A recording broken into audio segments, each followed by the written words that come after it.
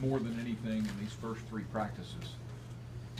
Um, well, the competition's been great, and I think that even the defense being younger, uh, it, it's been good to get out there and, and compete against those guys. I think uh, them not having as much experience, and, but they're still competing with the offense, who I expect to be top five in the country, if not the best. They, they've been competing with us very well, so it's been good to see that for them to come out with a little fire and ready to go.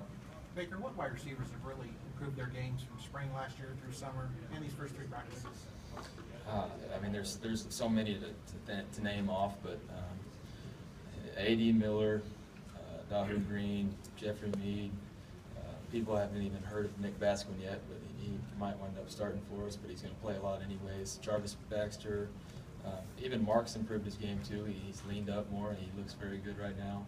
Um, and then Jordan Smallwood's playing really well right now, which is good to see because he hasn't been healthy in a while. So everybody's kind of playing well, which is, is good for me.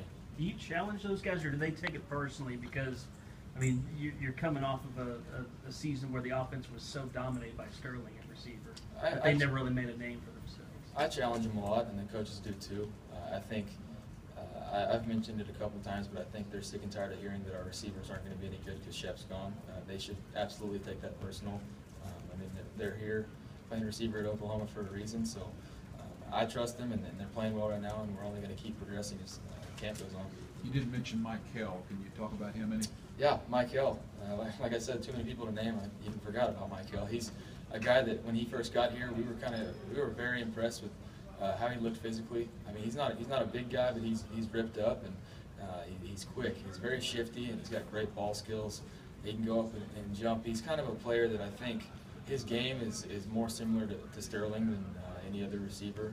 Um, kind of a smaller guy, but plays a lot bigger uh, and, and very explosive. Baker, a, different kind of offseason for you. You knew your role and, and you were going to be the guy. Was it more different the way that you handled yourself or the way that others looked at you as you went through the, the uh, offseason process? I felt through the spring and through camp now, even though at the beginning, uh, I've been a lot more loose. Whether it's not playing up tight, but uh, my work ethic has been the exact same, if not even uh, even harder. So I've been pushing myself, and, and I need those guys to see that because if they were to see me taking a day off or just saying that oh I've got it figured out, then that wouldn't be good for the program. So I've been working hard, and, and that's how I expect those other guys to do it too. How different has that been for you? Just the di- different dynamic of this year?